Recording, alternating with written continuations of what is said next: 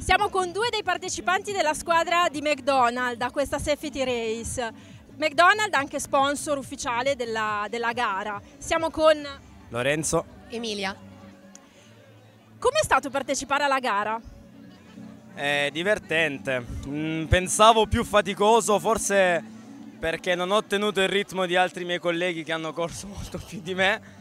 Però dai, è bello, è stata una bella, bella attività, stare all'aperto, stare in compagnia di persone che magari vedi solo al lavoro e quindi non hai modo di parlare di, di, di, di chissà quali argomenti. È stato piacevole. E per te?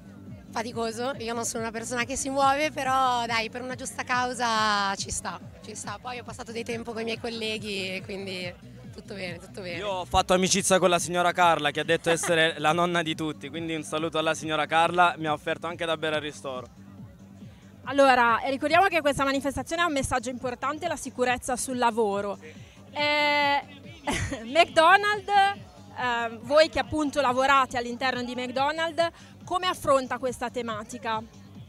Ma all'interno del nostro locale quotidianamente abbiamo molte procedure, molti dispositivi per appunto la sicurezza sul luogo di lavoro.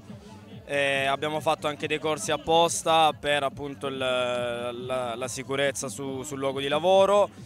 E è un tema che secondo me viene affrontato con molta serietà all'interno del nostro locale, ma penso in tutti, in tutti gli ambiti lavorativi. Ecco.